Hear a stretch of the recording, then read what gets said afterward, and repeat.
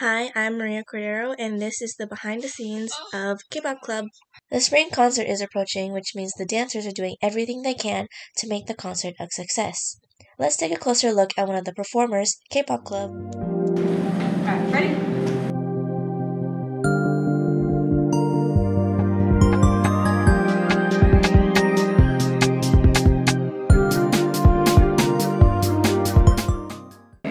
Hi, my name is Shaden. I'm K-Pop Club's president for the 2023 to 2024 year.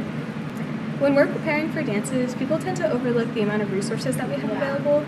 Um, for example, providing our own costumes and the amount of like money people might have, and also dance room availability and how much practice time we get compared to other dances, like um, scheduling and what days the dance room is available and what times. My favorite part about concert preparations are seeing the dances fully finished and being fully run through, knowing that like we have this.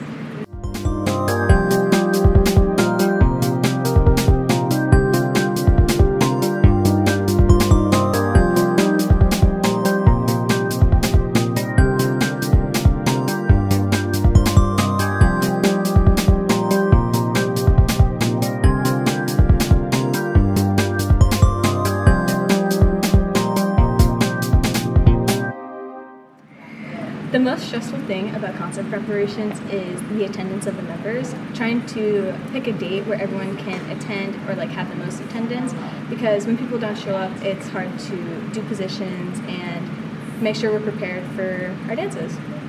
K-Pop Club and everyone who participates in the dance concert put so much effort into their dances, no matter how hard or easy it is. Their dedication should not be overlooked. Reporting from MCA, this is Maria Cordero, signing off.